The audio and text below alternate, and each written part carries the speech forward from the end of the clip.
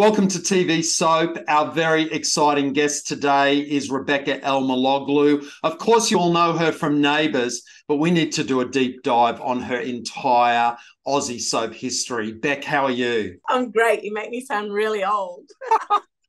We're not that old. I mean, but you have been around like since what, the early 90s? I reckon your first role on a soap is E Street. But before we go there, I want to ask you about the surname Elmaloglou. It's, Yeah. it's from your dad. Your dad's Greek. It's a Greek name, but your dad wasn't born in Greece. No. So, it, look, the actual name itself is um, Greek Turk.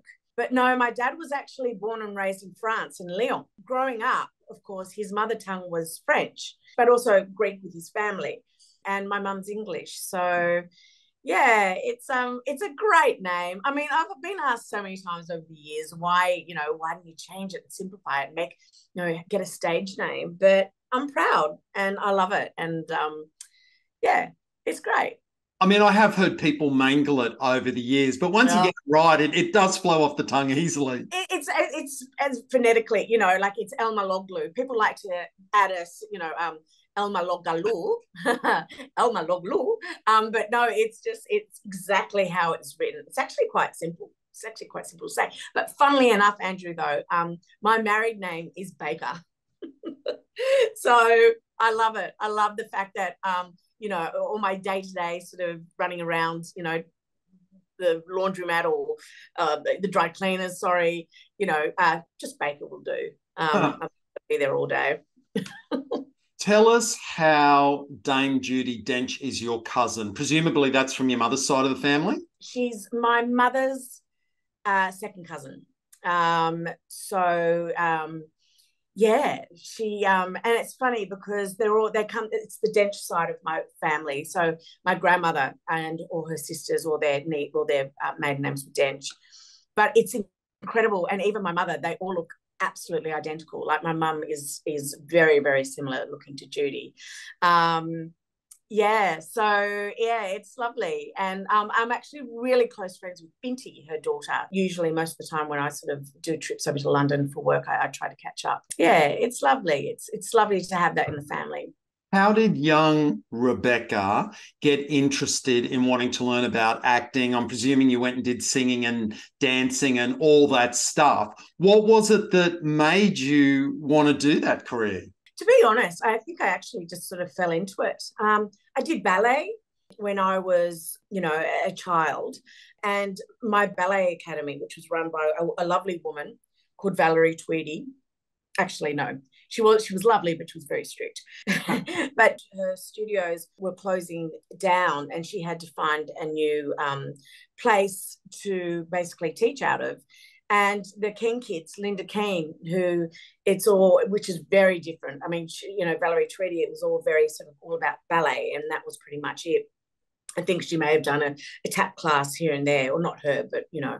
Um, but then we all sort of moved into the Linda Keane, the Keane studios, and that was all, you know, jazz, you know, fabulous shows and and jazz and tap and show, you know the Keane Kids and you know it was all very very different. And unfortunately, a lot of her students um kind of wanted to explore that, you know, wanted to leave the ballet classes, and we ended up sort of skipping the ballet and, and wanting to go and do all the show busy sort of you know stuff. Um, so that was kind of sad. So I was doing that, but um, look, I always loved. It came from the fact that I always loved the film The Sound of Music, and still do to this day. I've probably seen it about a thousand times. I've even done the tour in Salzburg and cried the whole time. Um, but just loved, loved, loved, loved, loved the film. And um, I was eight years old, and um, there were they were holding auditions for the big production that was being held at the Regent Theatre in Sydney. And Mum said, "Look, do you want to audition?" I was like, oh, "Okay." And I auditioned uh, with thousands of other budding young, you know, performers, and um, myself and Justine Clark. Um, we met, we got the job, and we met, and um, we became firm friends. And um, her mother sort of organised for me to get an agent, and I just started working pretty solidly from the the age of eight, and that's how it started. So a So couple I've of actually things. worked out I've been doing it for 40 years. Wow, congratulations. 41st year of Oh. being in the industry. When you say Linda Keane, are you talking Linda with a Y? Linda Keane, the Australian actress? You know what? I think it may have been. Yeah. Yeah.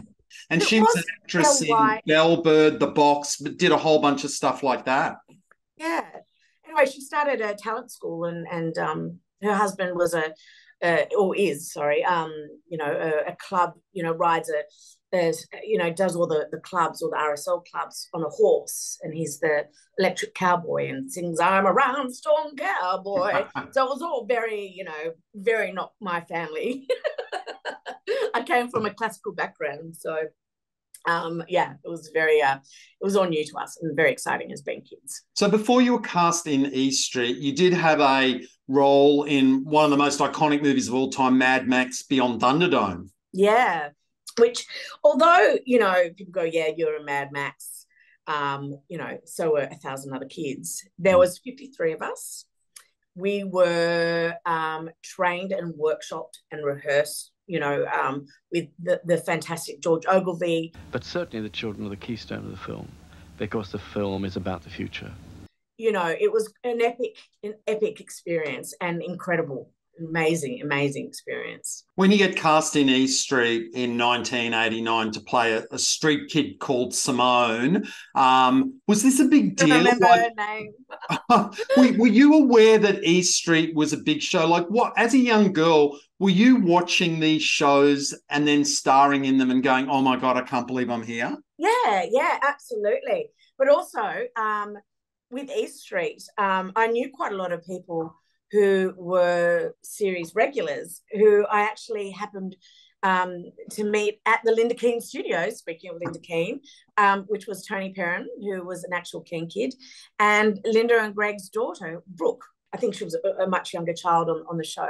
So I knew a lot of the actors. Um, yeah, look, I mean, yeah, like any kid, I, I'm sure I watched, you know, watched um, many shows like E Street. Probably by then, um, because I'd been sort of working quite a lot by then, to me, you know, it was just another acting gig, but exciting, exciting at the same time. Um, but yeah, it feels so long. it feels so long ago. I can't even. I couldn't even remember the character. I mean, do you think that the East Street role was sort of like uh, a screen test in a way for Home and Away? Because in 1990, you're cast in Home and Away as Sophie Simpson, and this becomes your really huge breakthrough role, and where Mm. Aussies get to know you as a household name. Yeah. Well, the thing about Home and Away was um, I just got back from overseas working um, in Greece doing a children's series, an SBS children's series called Adventures on Kythera. Um, so I'd been sort of working on this amazing Greek island for, you know, quite a few months. Um, and I came back and I auditioned for a few things, and one of them happened to be Home and Away. But initially, it was only a, a, a three month guest uh, role um, with Terence Donovan, Terry Donovan playing my father. Um, and like, I mean, it happens here on this show, you know, we, we get um, actors in to play to play guest roles all the time. And, you know, if the producers love them and if their characters sort of go down quite well and you know, I mean, I'm sure there's a lot of factors to it. Um, they decide to sort of keep them on, which was um, what happened with Home and Away.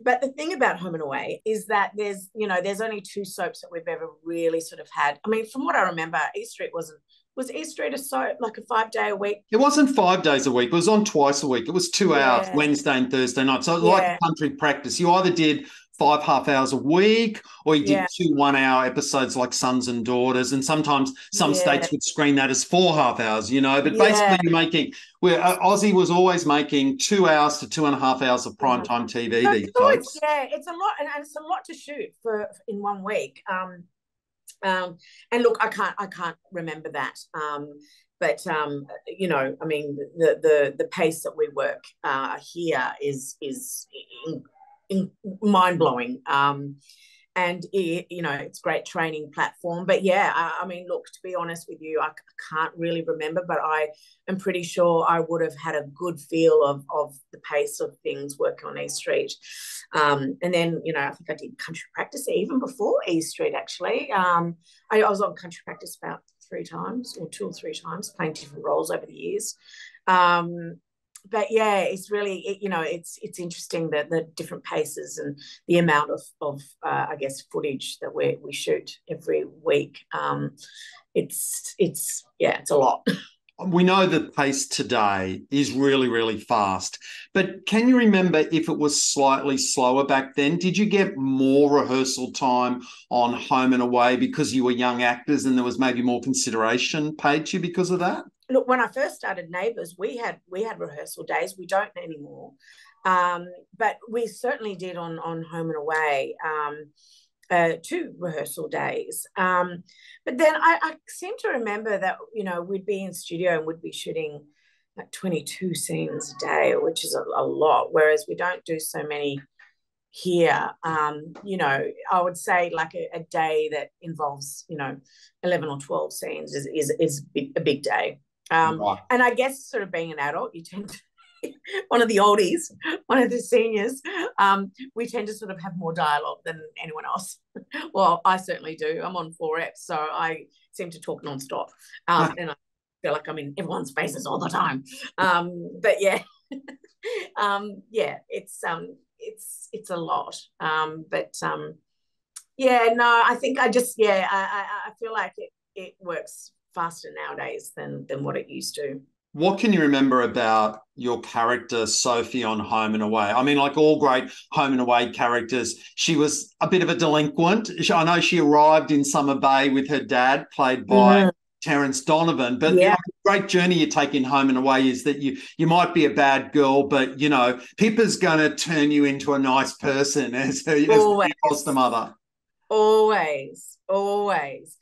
Yeah, look, um, Sophie had her faults. Um, but you know, she was just a kid that had had a, a you know a rough life with with a dad and and uh, you know was always on the road and um, you know I think um, you know although it sounds cliche, you know she found the the um, you know the Fletcher House I think it was called first. Yeah. yeah, it was called Fletcher House, and and uh, you know life became much more settled for her. And you know we saw her growing up from you know a 14 15 year old to an 18 19 year old you know with a child. And um, you know i think uh, although she was a little rough around the edges at first i think she she grew up quite quite well when you go looking for clips of you from those classic home and away years, um, what's there is the cat fight that Sophie has with Tracy, you know, which was the girl that she was jealous of moving into the home and yeah. the bedroom. Have,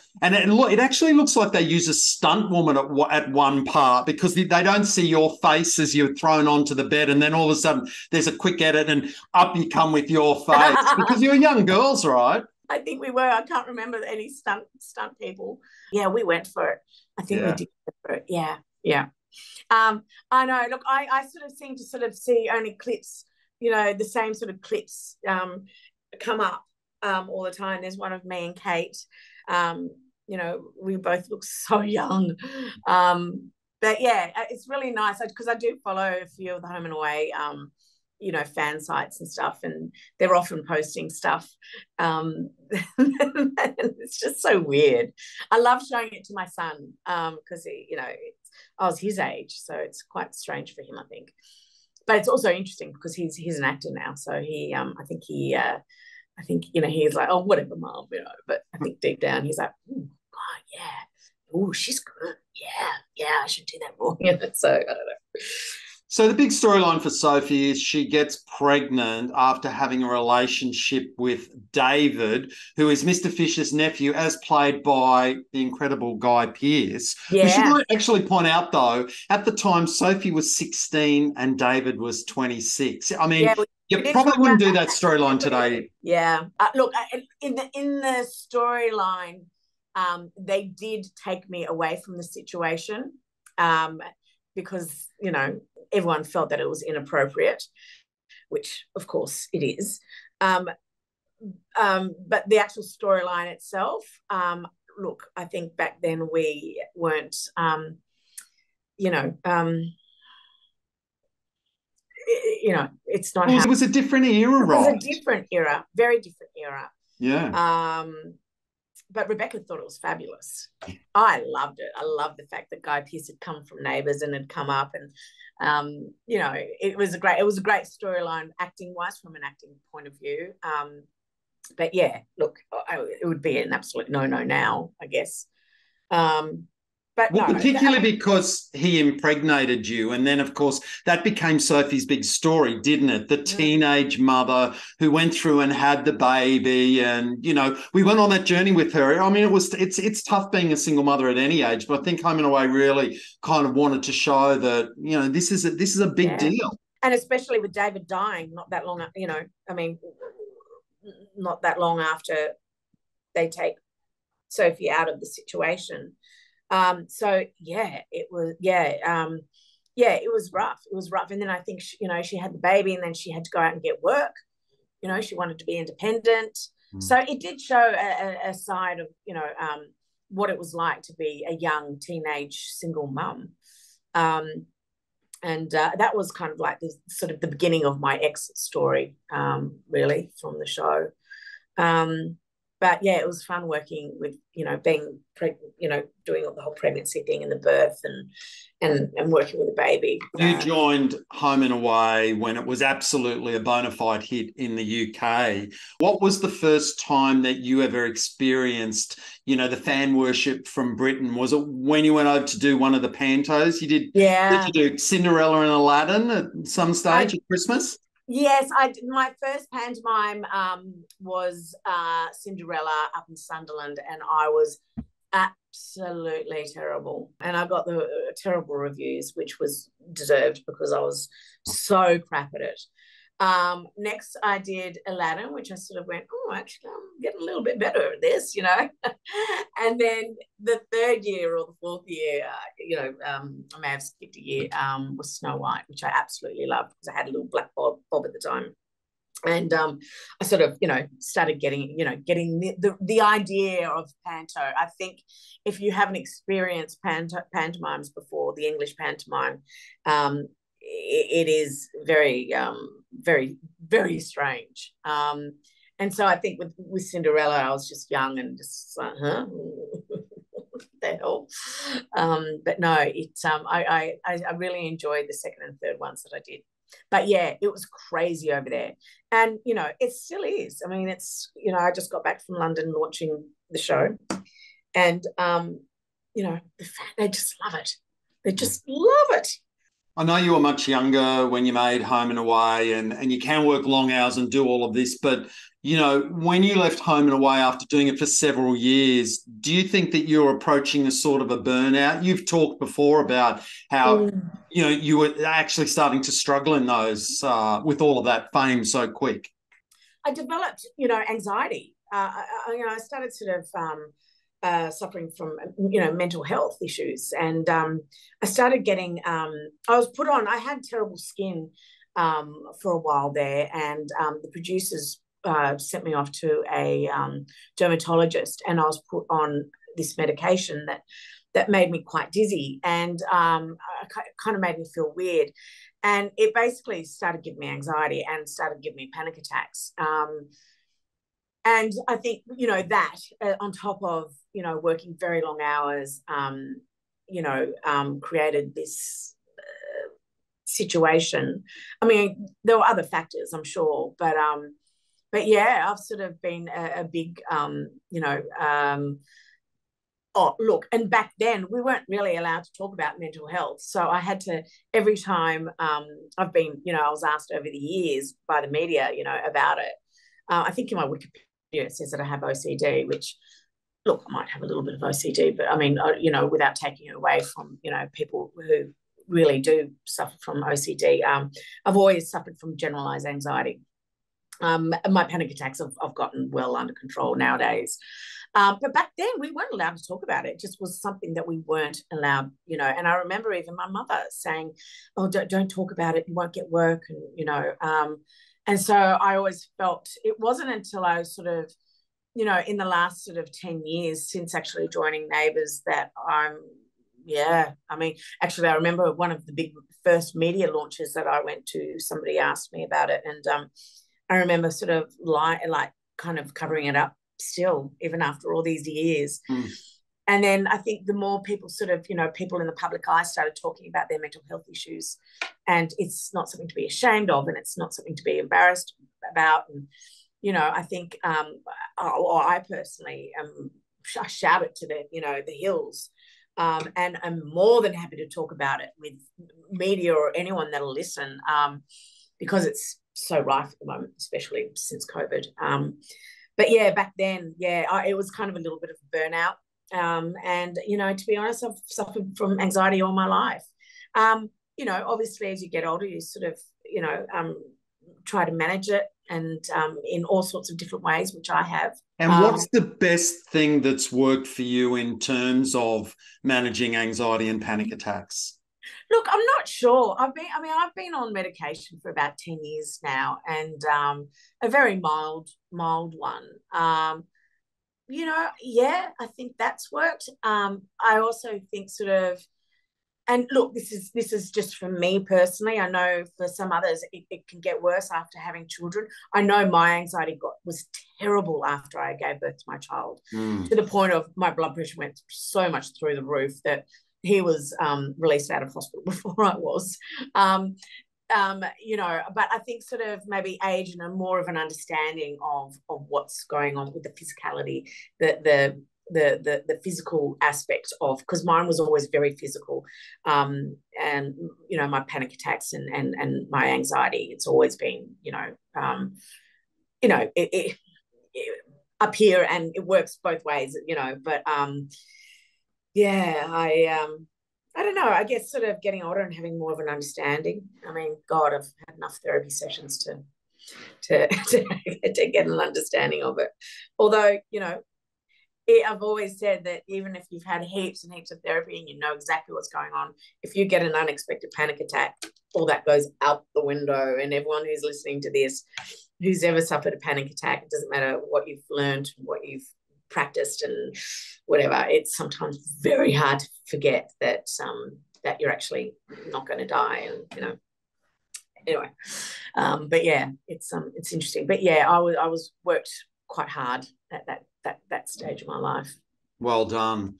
Um, after Home and Away, you talked about a country practice before, and it's interesting. I mean, every actor sort of did the the part one and part two of the country practice, but you were actually in there for like five or six episodes playing a a, a singer called Christina, I think, and you actually helped escort Hugo, played by Gavin Harrison, out of the show. You were his exit storyline for him to fall in love with you and then leave Wandin Valley forever and hopefully live happily ever after. Ah, yes. So I, I yeah, I did quite a few. Um, yeah, I was on that for like eight weeks filming eight, uh, for yeah for quite a while. Um, and Christina, um, she's a cancer cancer victim. Um, and it was a really beautiful storyline from what I remember. It was really lovely. And Gavin and I were friends from being kids, so we were just and we're you know we were always were so close. So it was just such a lovely, um, lovely storyline for him to to do his exit storyline. Um, but yeah, that was pretty much almost straight after Home and Away. A country practice and Sons and Daughters used to share the same studio. There was a bit of rivalry between them. You know, that country practice thought that they were doing something much more worthy than Sons and Daughters. So I'm wondering, can you can you remember going from Home and Away to a country practice? Was it a very different feel of the show, or because uh, they were all being filmed at Channel Seven out at Epping back then, was it kind of the same? Well, it's funny you say that because I don't remember the home, the sorry, the sons and daughters, um, or the home and away country practice thing. I remember the home and away thing with the All Saints. That's, right. I remember a bit of like All Saints was a drama, and we were the soap. And I remember there was a little bit of you know, a little bit of a rivalry, not rivalry. I mean, you know, but um, they're in that studio and we're in this studio, right? You know, um, but then not that long after I did a, a, stint on All Saints as well and went back a couple of times, I think. So, um, you know, been around the block a few times. Yeah, it's always been there. I mean, that word soap, some shows go, oh, we're not a soap, we're a drama, you know, and it's like, listen, if you're finishing with a continuing storyline and picking it up again next week, you're a soap, you know, we can You all live in the same field. I know, and it's so funny you say that because when I was younger, if if if a soap star Rebecca Romijn, I would be furious. I'd be so upset. I'd be like, I am not a soap star, you know.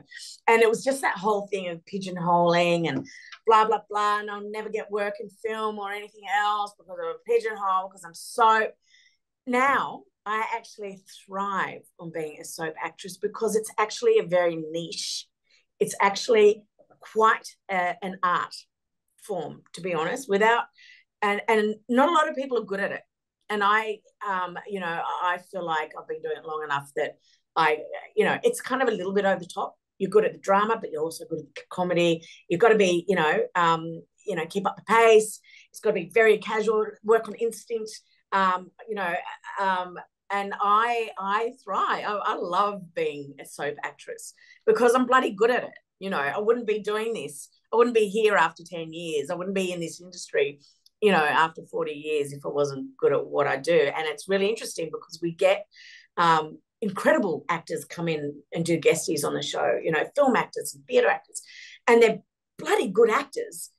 But if they come, they if they come into our sets and and they work the pace that we do, we we don't see see the best out of them. It's really interesting, actually. It's quite a it's quite a a, a, a very I'm not going to say specialized because we're not, you know, like it's not like we've I don't know, but it is it is it's it's quite a um. Not everyone can do it. Put it that way. Well, that's for sure. I've, I've interviewed so many soap stars, and you know, I talk to some of the American daytime stars and go, "Why do you do this?" And they all say to me, usually without fail, "We do soaps daily because we get to act every day. If we were making a TV show or a movie, we're sitting around all day to film Yes. in it. But here we get to act from nine to five, and it And keeps our muscles working." and the adrenaline I, you know i love working you know the adrenaline and working off my instincts. We Mm. we don't have time to sit and dwell and overthink stuff. And i don't think you're going to get the best performance out of people if you overthink things. I mean it's for me it's as simple as that. Look a lot of actors might think that i'm a little bit too flippant. I break you know i'll, I'll be joking about one second with the crew and then i go straight into it. But that's only because that's how i work. You know, I can do a full on crying scene, hysterical scene, like I did half an hour ago or an hour ago, and just walk out there and just be like, blah, Beck's back. Um, you know, for me, it's, you know, um, and, you know, it's regular work. you know, I pinch myself every day how lucky I am that I'm working full time. There are not many actors um, in this country that are doing that. Um, so, and I just love the pace of it. And I love the fact that, I, I you know, I've got a myriad of, of storylines. Like one minute, someone's died, and it's like, oh, and then the next minute, I'm, you know, doing something really bloody stupid. you know, it's great. You know, it, it's kind of fulfilling all my, and especially with this character, of course, Terese. I mean, you know, I mean, she's fabulous. She's bloody great. Um, so you know, I get to have a lot of fun. Now, before we get to Terese, I want to go back to 1995 because I was the location manager for Paradise Beach. And it was my job to go off and find this caravan park and get a corner where we could film and set up this kind of area for this goth character, this new who character smoked who smoked smoked. constantly. Do you know what? That was so interesting because Paradise Beach used to screen in Australia at 5:30 p.m. And I specifically remember the script writers, you were allowed to smoke during children's TV on Australia if you were a bad girl. So that's how you were allowed to smoke on Paradise because you were leading Tori, as played by the beautiful Megan Connolly. You were leading her astray, giving her alcohol, giving and and but you were allowed to smoke on Paradise Beach. I know, I know. It's disgusting too, by the way. Um, that's why nobody really smokes on film television anymore. Uh, well, besides the fact that it's bad for you, but um, Oh my God, it was just revolting.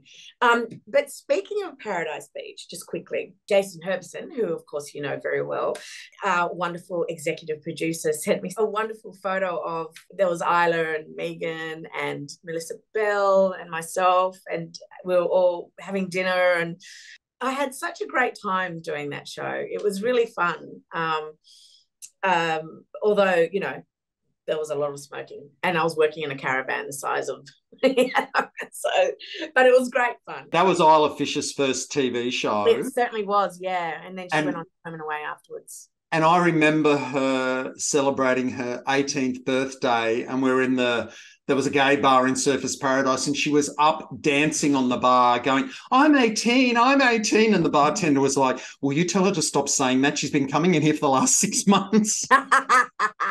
yes. So, oh, to, yeah. To stick with the Gold Coast theme, you go from Paradise Beach to Pacific Drive. Yeah. On Pacific Drive, you know, to me, this was a storyline that they really burned through far too quickly. You know, they mm. had the mm. character played by Steve Harmon. He discovered his long lost father was a politician, Bill Garland, played by Chris Haywood. And you played the daughter of this politician, Eliza. But of course, there was a really nasty element to this storyline. Do you remember what it was? Yes, it was awful. Um, and it was quite full on to film as well. So it was an incest storyline. Um, and basically, uh, Chris's character was um, sexually assaulting his daughter, Eliza.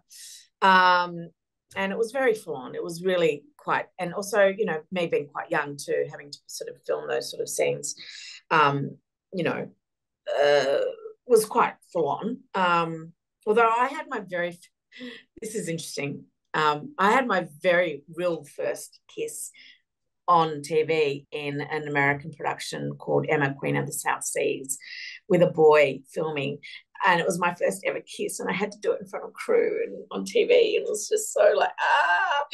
Um so you know i've been put in sort of un- uncomfortable situations um, you know, a few times in my in my childhood, but obviously things now with intimacy coaches and all that sort of thing is it's very very different, which is which is great. Um, but yes, this storyline um, in Pacific Drive was full on, and then the poor girl ended up dying on the dance floor after taking uh, ecstasy. So it was um, it's very depressing, really, wasn't it? It, it? it, all just felt really rushed to me. It was like they they built up this whole family um, for Steve Harmon, and then you, you know you were dead on the dance floor in the nightclub from ecstasy, and uh, Amber went off and uh, set up uh, Chris Hay- Haywood and um, made out that he tried to rape her so that he could be sent to prison. So he got his comeuppance from it. But I just thought, of, you know, why bring yeah. a family played by such great actors, you and yeah. Chris Haywood, and yeah. you know, but chew you up within a couple of weeks. It felt like. I know, I know.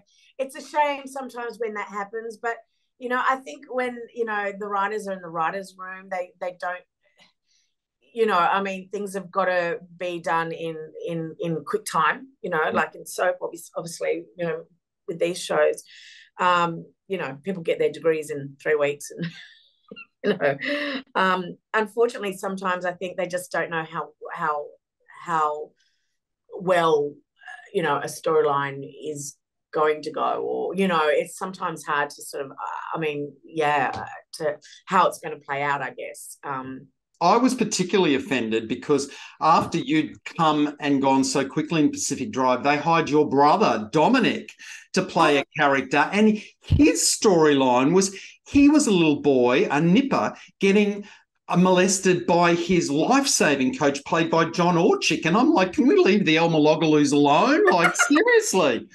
Oh my God, I didn't even know that. Oh my God. And John Orchick played my boyfriend in a play called Caravan. Um, David, David Williams play at the Opera House quite a few years later or earlier. I don't know. I can't remember. Um, oh God. Oh my God. Yeah, that's full on. Oh, poor Dominic, I must talk to him about that. yeah, hopefully he's uh, blanked that from his mind. But let's get to present. So you've been in Neighbours now, well, 10 years, really, a decade. You were cast in 2013 as Terese, and you've been on such a wild ride. How, how is Neighbours different? Because I know you had to relocate from Sydney to Melbourne mm-hmm. to do this role, but you know, clearly you love it. You're still there and you've come back for the reboot. Yeah. Well, it's funny. I actually originally auditioned for um, the character Lauren Turner who was played by the lovely Kate Kendall, who's now one of our fabulous directors. Um, and I actually got quite close. I mean, I was sort of done quite a few recalls and, um, you know, I was sort of, it was between me and somebody else, which turned out to be her. And, um, and they gave the role to her, but they came back to me and said, listen, we've got another character, another family coming in called Terese Willis, uh, uh, the Willis family. Um, and this character, Terese Willis, is coming in, and we feel as though you would be much more suited to it. Um, so sit tight and we'll get back to you. And um, sure enough, a month or two later, they got back to me. Um, I did a, a quick, um, you know, a quick read for it, um, and then uh, they flew me down to meet the kids who were playing the kids, and I got the role. And it was kind of all a bit. Um, I was like, oh God, could never do three years. I, would just do one year, and you know, and then I was going to commute. I'll, I'll commute, you know, and I had a three year old child at the time, and I was like, and then it wasn't until not that long before um, my husband just woke up one morning and went, no, we're and it was ended up being three years. The idea was that I was going to commute for six to twelve months and then would see how it goes. But my husband was like, no, we're we're all going to go. Um, we're all going to come down to Melbourne. So we came down and 10 years later, here we are. Although when the show did end last year, um, I don't know if you know this, Andrew, I um, we sold our house and and we moved up north and so I could be with my family and just um, yeah, just have a bit of change of scenery and um, was having a lovely old life up in the up in a little country town, you know, walking the dogs on the beach and just chilling out. And then the show was back on and nope, we're packing up the house, we're moving back to Melbourne and here we are. How long did it take you to say yes to come back to the reboot? Was it yes oh. straight away, or did you have to talk it over with the family? No, I just instantly was like, "Oh, good, my job's back." It didn't even occur to me that they might possibly not want me. Um, just, I mean, look, we were a bit spun out by it, I have to admit. Um, so you know um, there was a, it was one evening and i was just settling down with my husband and son to watch one of our you know shows and and my phone started beeping. It was the cast thread and some of the kids were like oh my god we're hearing rumors that the show's back you know all this sort of silliness. And i was just like oh, whatever you know it's just rubbish it's not happening. So i turned my phone down turned the lights and started watching the show. And then about half an hour later i kind of was like and I kind of got my phone. I was lifted it up, and sure enough, there was a message from Jason to all of us saying, "Hey all, uh, I'm not sure if you've heard, but we've got some amazing news. The show's back. It's being announced, officially announced in an hour in the UK. Blah blah blah." And I was just like, ah! Just going crazy. And I rang Jackie straight away. And of course, Jackie and and Stefan and, and Ryan and, and Fletch, Alan Fletcher, um, you know, they had already had, they already knew for a few days. Um, and yeah, and I was texting Jay, I was like, oh my God, like it was so bizarre. It was just so bizarre. Um, and then Jason rang me the next morning at eight o'clock in the morning and just said, look, sit tight. Um, you know, we've got to get approval for everyone from Amazon, um, but you're our number one favorite um, obviously besides the four heritage. Um, so you know, I, uh, you know, as far as I'm concerned, you're in, and I was like, yeah, yeah, yeah, and so yeah, so that's um, so it was amazing. It was wonderful. It was so exciting, but it was, it was a, a big upheaval. I'm not going to say it was easy. Um, you know, my husband sort of got a little unwell last year, so I was sort of having to care for him. It was a big, uh, you know, packing up our lives, moving up there, then packing up our lives, moving back down.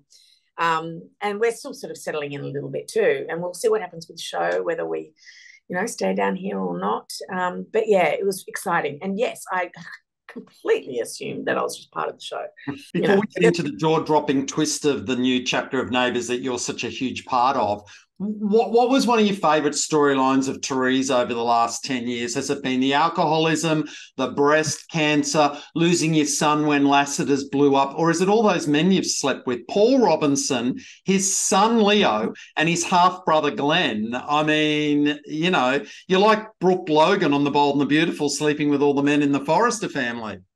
I know, and I love it.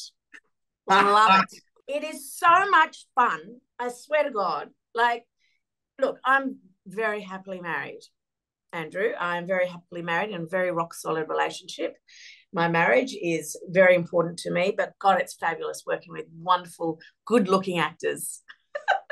no, no, no. I'm joking. Um, well, not really. I am. I'm, I, I am. I'm not. But um, oh look, there's so many. As you know, as I said before, we get to play with so many amazing storylines. You know, the the the, the breast cancer storyline was was amazing. But my mum had just had breast cancer as well. And of course, Jason and the writers, they called me into to a meeting and said, look, you know, um, we're aware that your mum's just had breast cancer. How would you feel if we did something similar? Would you embrace it or would you, you know, you know, do we not touch it? And I was like, of course, let's just do it. Let's do it. Um, so that that was amazing in in in in a very different way. Um, the alcoholism storyline, you know, um, was yeah, was was was great. Um, oh, you know, like they're all it's great. I mean, look, the thing for me is that I've just been so blessed um, to be able to work with was going to say all the men in my life, which is true because I do work mostly with men. I do have occasional storylines with somebody, somebody like Jackie, who's just wonderful. Um, but with Stefan Dennis, and and um, you know him and I can, you know, we can do it with our eyes closed. We can read off each other perfectly. Um, you know, where we have a lot of fun. It's hysterical. Um, um, but then currently I'm working with the lovely Ryan Moloney, who, you know, it's so different to working to Stefan.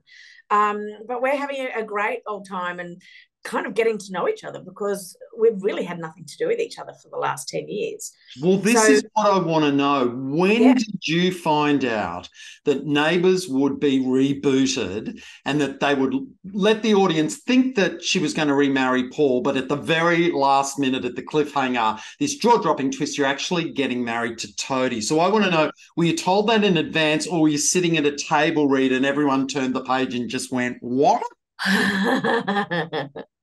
so they flew me down. This was, you know, um, uh, you know, a month or two before we started shooting, before I moved back down. They flew me down because Jason Herbison, our executive producer, wanted to see the look on my face, face to face. He didn't want to do it. Of course, he did. That cheeky he didn't lad. Want to do it over Zoom. He wanted to see the look on my face, and I gave him what he wanted.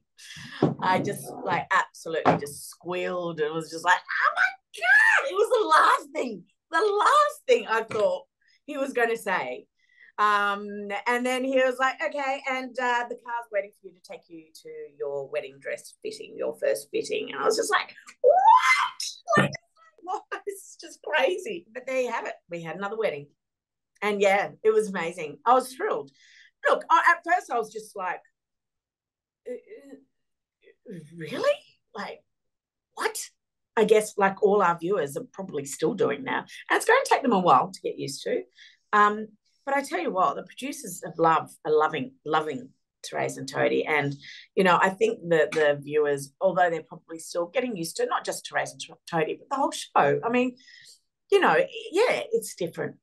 Um, but it's still got the same essence that Neighbours has always had. You know, we weren't going to take that away. There was no point giving our audiences a show that wasn't Neighbours. But we did have to make some fresh changes, and that means um, removing some, you know, some characters and and bringing some fresh faces in. And it's just the way it is. Um, and you know, like I'm a creature of habit. Um, you know, so I get it. You know, it would spin me out if my favorite show, you know, was rebooted and came back slightly different. Mm. But I think in time, everyone will get used to it. Um, but yeah, I was just like, oh, oh, oh, and Toadie, like what?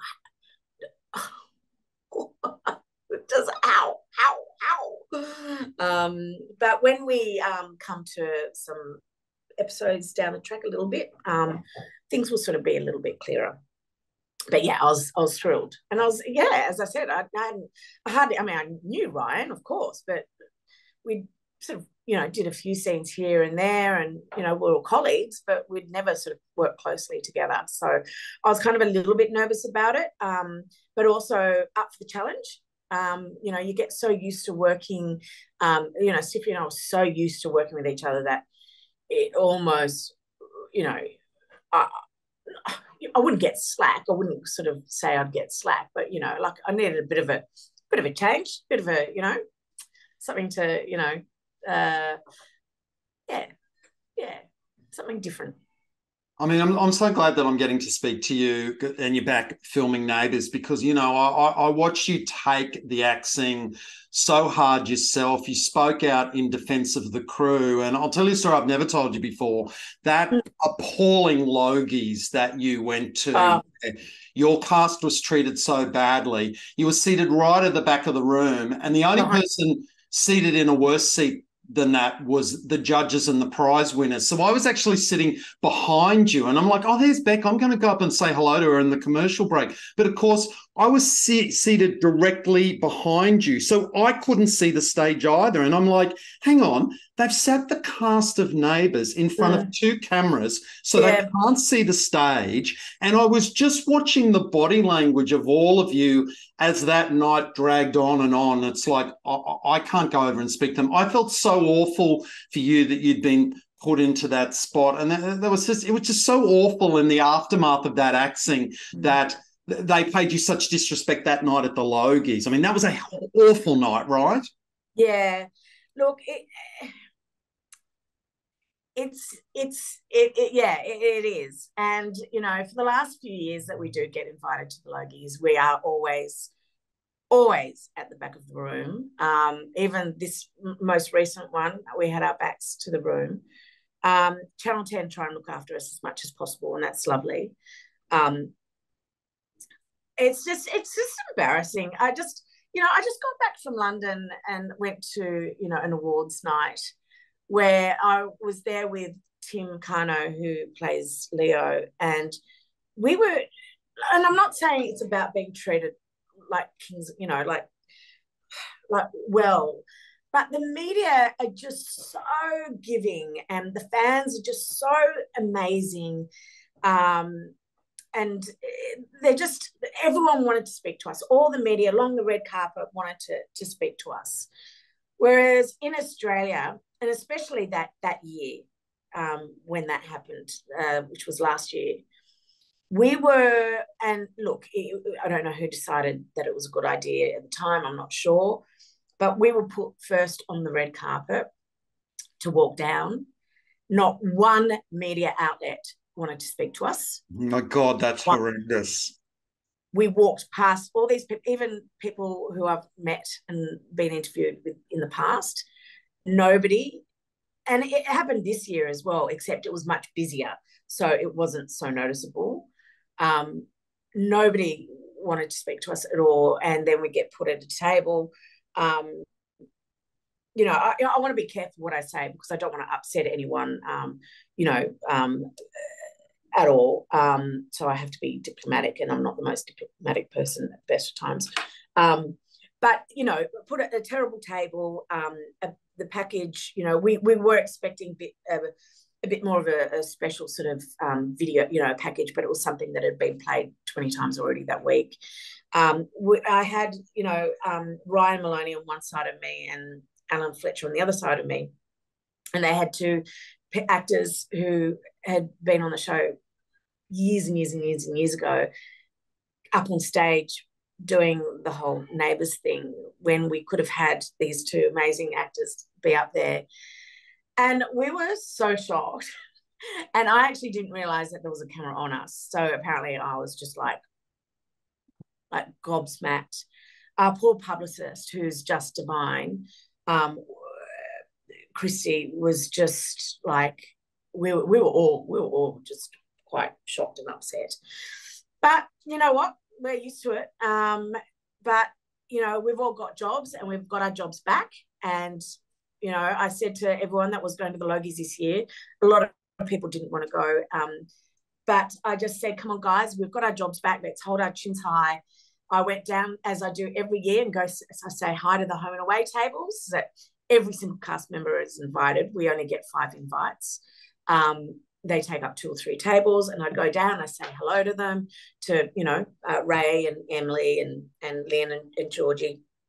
Go, I always do. I go down, and say hello, uh, and then I walk back to my table at the back, and we just try and enjoy the night. Um, but yeah, it is. It's a little disappointing. Um, you know, if if the media saw how we're treated um, in the UK, yeah, well, I think that's the big difference, right? I think in the UK, uh, the the media there know that Neighbours is a great show. They well, every everyone should know now after the reaction to the end of Neighbours that it holds a very strong emotional part of people's childhoods and their lives. And yet, it still feels to me like the Australian media is always going to be looking for the negative story to tell about Neighbours, whereas yeah. the UK press. And I mean, look, you know what? You guys are having the last laugh. You're the the number one show on Amazon Freevee at the moment. And uh, I mean, that's the important part. They're the ones making the show, and yeah. you're giving them now what they want. So I think you're probably always going to have a bit, bit of an issue with the Australian media. But look, the yeah. UK are always going to treat you better. Yeah, yeah, yeah. And, um, you know, we're working and um, we're loving our jobs and um, you know we've we've got an audience uh, um, that loves the show and that's you know i'm happy to be here for a good another 10 20 years you know that's i don't know yeah it's a weird it's it's it's a weird one if you're there for another 10 to 20 years, I'll be watching. I've loved everything you've done over the years. I've loved getting to meet you and work with you. And I want to thank you so much for coming onto TV Soap and talking about all those great roles. I'm going to have such fun this afternoon looking for that footage of you smoking in Paradise Beach. I know I've got it somewhere here. oh my God. Oh, you must send it to me. I want to see it. I want to see it. Definitely. Thank you, Rebekah Elmaloglou. Thank you. Anytime. Bye.